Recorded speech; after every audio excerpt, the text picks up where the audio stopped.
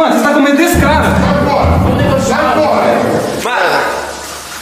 Rapaz, isso aqui não mete nem, nem um pouco de medo em mim, velho. Mano, é isso. Vai, sai de perto. Que sai de perto mesmo, rapaz? Tá doido? Você tá doido? Você tá botando medo em mim? Sai de perto.